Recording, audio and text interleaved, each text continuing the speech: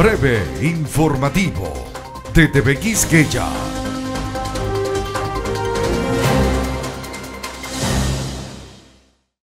Ambientalistas y líderes demócratas y varias organizaciones defensoras del tránsito se enfurecieron ante el anuncio ayer miércoles de la gobernadora Kathy Hochul de posponer hasta nuevo aviso la aplicación de la tarifa de congestión en Manhattan en contraste, asociaciones de taxistas y sectores del transporte, que se habían opuesto radicalmente a ese cargo, aplaudieron la medida y exigieron que más que congelarla, sea enterrada para siempre, pues finalmente devastará aún más a la clase trabajadora que apenas sobrevive en Nueva York.